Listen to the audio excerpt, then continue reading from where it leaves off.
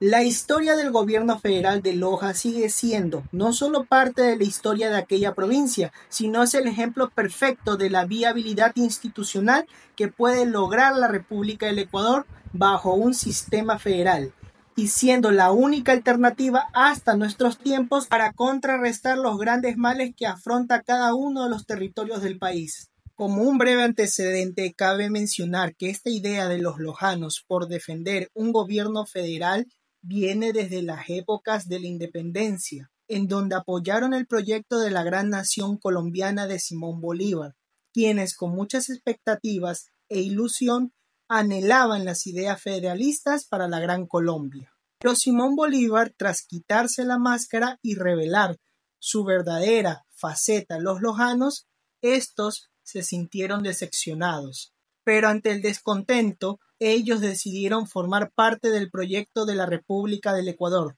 Tiempo después, este territorio que contribuyó a las guerras de independencia de Bolívar y del Perú quedó más empobrecido de lo que estaba antes. Pasado el tiempo y llegamos a los años de 1859 a 1860, una época en donde el Ecuador lidiaba con una división interna, seguida por una guerra civil entre políticos por el poder y lidiar con una invasión peruana oportunista. Por retraso de las precarias comunicaciones que llegaban a Loja sobre lo que pasaba en el resto del territorio, los lojanos, el 18 de septiembre de 1859, se enteraron de lo que hacía Perú a los guayaquileños y de las disputas políticas en Quito, Guayaquil y Cuenca. Los ciudadanos se reunieron con el fin de deliberar la posición que la provincia debía adoptar frente al caos nacional y a la agresión externa, por lo que de forma unánime los lojanos nombran de jefe civil y militar al doctor Manuel Carrión Pinzano, quien el 19 de septiembre de 1859 convoca a los lojanos quienes de forma unánime y por voluntad propia aceptan la propuesta de una forma de gobierno federal para la región de Loja. Esto lo resuelven en la sala consistorial, que sabiendo y por haberse disociado la República, consideran que, primero, esta provincia se halla en el deber de gobernarse y regirse por sí misma, por haberse desaparecido el gobierno constitucional de la República. 2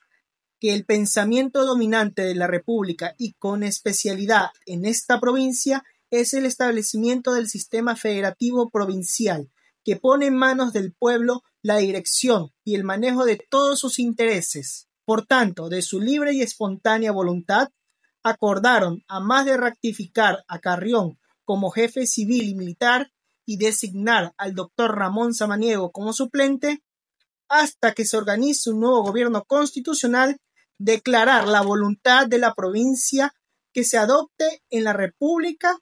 la forma de gobierno federal. El gobierno de Carrión Pinzano, que tuvo una duración de 16 meses de gestión, tenía que enfrentar los siguientes desafíos. Reformas estructurales internas para la provincia, atender sus relaciones con las demás provincias del Ecuador e incluso un desafío de carácter internacional, que era lidiar con la presencia de la flota peruana bloqueando la costa ecuatoriana, especialmente la ciudad de Guayaquil. A pesar de los desafíos, Carrión Pinzano y su gobierno federal lograron grandes cambios para la provincia en el aspecto militar, de seguridad, organización territorial, judicial, educacional, económico, administrativo, financiero, obra pública que veremos a continuación. Aseguró el respaldo militar reorganizando el batallón Zamora y formó uno nuevo llamado Batallón Civil, a fin de defender la provincia y la integridad de sus habitantes de cualquier agresión armada, venga de los grupos de poder que se peleaban el control del país o de la Armada peruana. Pinzano, consciente que gobernaba un territorio extenso que iba desde el río Amazonas hasta el Océano Pacífico, reorganizó políticamente la provincia, componiéndolas de cinco cantones: Loja, Calvas, Paltas, Saruma y Jambelí, este último con su capital en Santa Rosa, y con todas las islas pertenecientes a este cantón. Cabe añadir que la provincia del Oro en ese tiempo no existía, sino hasta el año de 1886. Se crea el Tribunal Superior de Justicia, como la Corte de Apelación, designando de ministro a los doctores José Antonio Guigurem, Francisco Arias, Agustín Costa y Manuel González. En educación se forma el Instituto de Instrucción Secundaria, compuesto de los colegios, el Nacional San Bernardo y el particular La Unión. También se entabló diplomáticamente con el gobierno de Colombia para la gestión de venida de los docentes Benjamín Pereira Gamba, Ortiz Barrera y Belisario Peña, a fin de impartir cátedra a la juventud lojana. Asimismo se decretó la creación de las cátedras de Filosofía y Letras, Jurisprudencia, Medicina y Teología. En lo económico se habilita el puerto de Jambelí para comercializar con Guayaquil y el exterior. También se redujeron los impuestos a la importación y se permitía el libre ingreso de mercadería para contrarrestar el contrabando. Incluso se crean ferias a fin de mejorar las rentas del territorio, y esto sumado a una buena administración financiera de los recursos estatales obtenidos, se facilitó realizar los pagos atrasados a los empleados públicos. Y no solo eso, con los recursos obtenidos se crean pequeñas obras públicas útiles para el territorio, y el excedente se lo entregan después al presidente Gabriel García Moreno después de reestructurarse el orden político y constitucional en la República del Ecuador.